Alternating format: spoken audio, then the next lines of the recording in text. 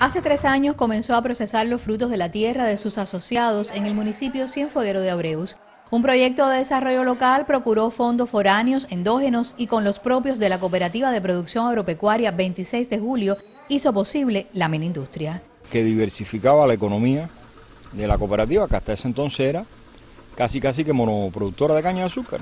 ¿Qué permitió la minindustria? Que empiezan a procesar eh, frutas, vegetales, y otras producciones, no solo de ellos, sino porque ahí el efecto benéfico es que también otros productores, incluso de pequeños, de medianos, también empiezan a, tener dónde vender sus producciones primarias y ya no están supeditados a que el camión de acopio venga a recoger y que si no viene el camión de acopio se echaba a perder. Con capacidad para procesar una tonelada al día, fue dotada de equipamiento que emplea para diversificar su gama hasta los 26 renglones.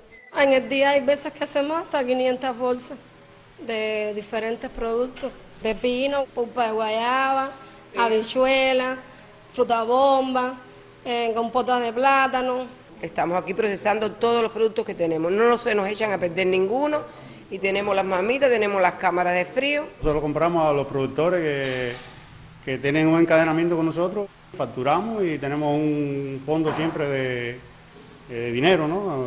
para pagarle en el término de 30 días.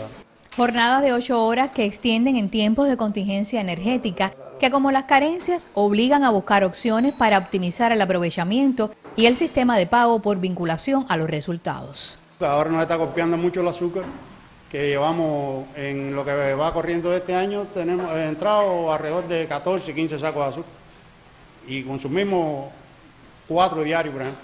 ¿Qué alternativa buscas para, para suplir los productos, los dulces, por ejemplo? los productores habichuelas, eh, pepino, para hacerlo encurtido, que el vinagre sí lo tenemos. Ahora estamos haciendo yuca preelaborada. En 10 días nosotros nos pagaron 3.600 y pico pesos. Si seguimos como estamos este mes, debemos de pasarnos de los 7, 8 mil, 9 mil pesos, porque estamos haciendo todos los días una cantidad de bolsas, más de 200, 300 bolsas diarias, 400, días de 500. Esta jornada facturaron 16.600 pesos en ventas en el propio asentamiento y barrios cienfuegueros, validando procesos de desarrollo que en el ámbito rural tienen como referente a esta cooperativa, cuyas transformaciones trascienden a la comunidad en otros beneficios. En tanto, la minindustria propicia empleo y ganancias a través del procesamiento de alimentos, prioridad económica del país.